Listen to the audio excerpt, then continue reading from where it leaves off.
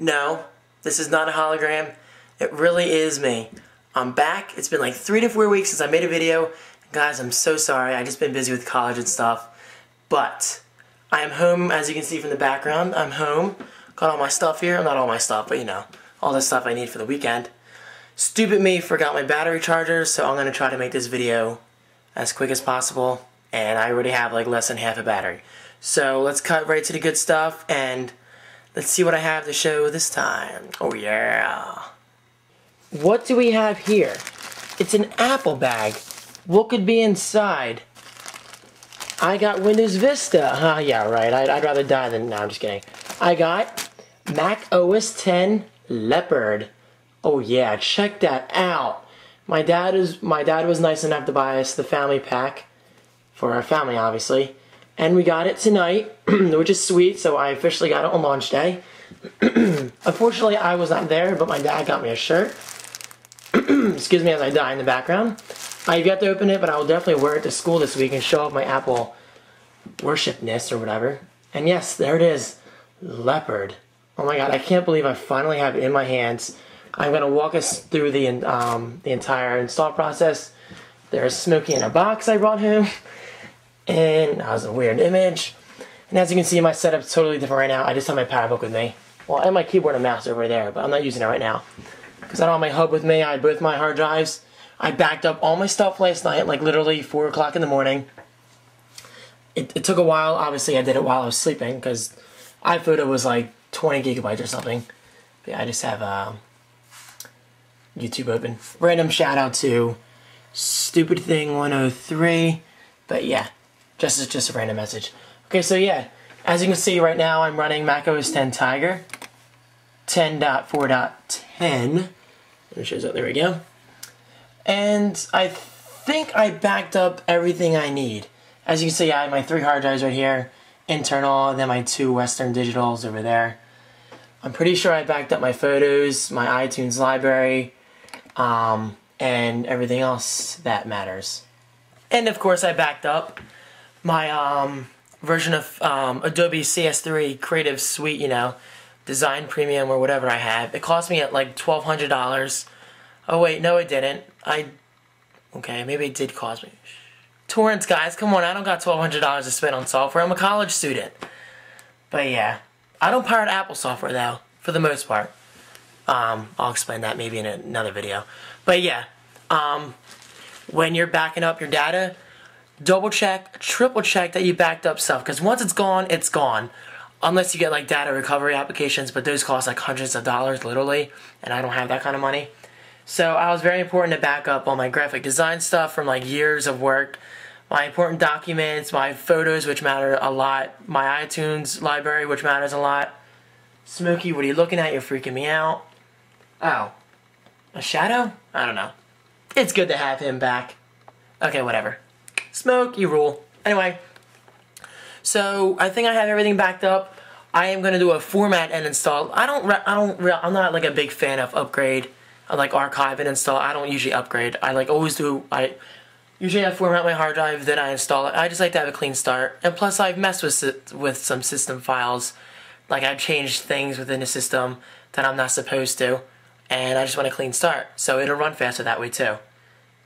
At least that's what I've heard, and that's what I've experienced.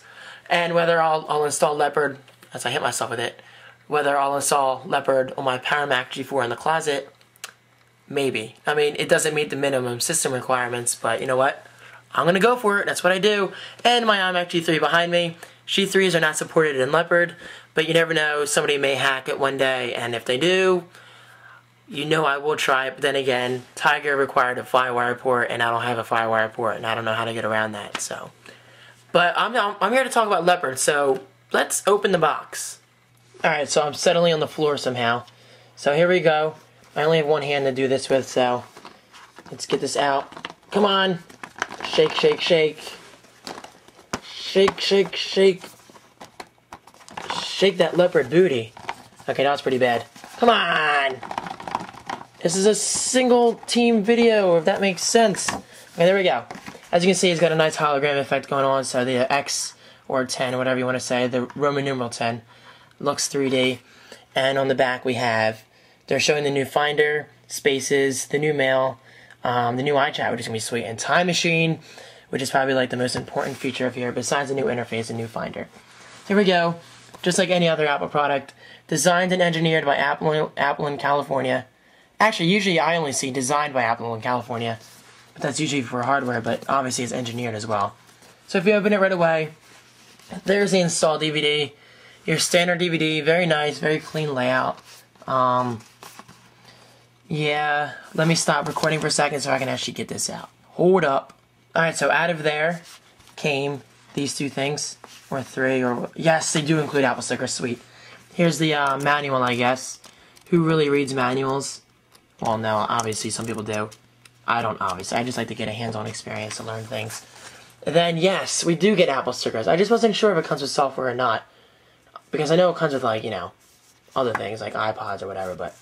Sweet. More Apple stickers. Maybe I'll put them up in my apartment to annoy Windows users. Just kidding, Billy, if you're watching this, or whoever else uses Windows. Um, but yeah. So let's go back over to my PowerBook, and I guess I'll walk you through the process. Alright, I gotta be honest here. Formatting my hard drive sometimes scares the crap out of me because once I'm there, there's no going back. So, like I said before, I'm pretty sure I um, backed up everything as my hard drive spin up. I'm opening my hard drives. Not opening them, um, exploring, whatever. So yeah, I have everything backed up. I think I do. I kind of double checked. Um, I took pictures of my serial numbers so I can just re-enter them. Oh, I have to deauthorize my iTunes library. That's a good idea. But I'm not gonna walk you through that. That's that's boring. Well, I'm a little close. Sorry, I'm late and I look like crap. So yeah, um, yeah. Uh, there's nothing really to record right now. I guess I'll record me by putting the DVD in. If that interests you, does it? I hope it does, cause I'm gonna do it anyway. So yeah, here we go. Standard DVD, like I was saying. Ooh, shiny. Are you looking at, Smoke? Ah, the glare on the ceiling. Alright, putting it in my Super Drive. Sorry for the bad lighting. My desk lamp is at school, so, and that's not the best lamp. I have that over there. I don't feel like turning it on now. So yeah, closes windows. Let's wait for it to pop up. Once again, this video may not be entirely exciting, but hopefully you enjoy it. Now, nothing should go wrong, because this is a software update, and my PowerBook G4 meets the minimum system requirements, except for a little bit, except for some features in Leopard, but nothing major. Alright, here we have install OS 10. Optional installs, what's that? Oh, look at that, they're, they're using the new folders already. Sorry, I'm like dying in the background. Then we have instructions. I don't need those instructions. Sorry, activate expose. Once again, I'm sorry if I'm rushing through this, but okay, I think that's it. Okay, let's take in the moment of enjoying Tiger. Everyone say goodbye to Tiger on the count of three. One, two, three. Goodbye, Tiger. Whatever. But yeah, just trying to add some entertainment to this video. So install Mac OS 10. Click the button below to restart just like the um, Tiger installation is the same thing. Just take a moment, think, did I back up everything? Okay, I'm back. I thought about it and I think I'm good. I didn't deauthorize my iTunes library because I don't need to. I, I can just do that from... Excuse me, I'm like dying over here. Oh, I have Wawa coffee, hold on. Mmm. It's good to be home. So yeah, let's restart here. Type in my password.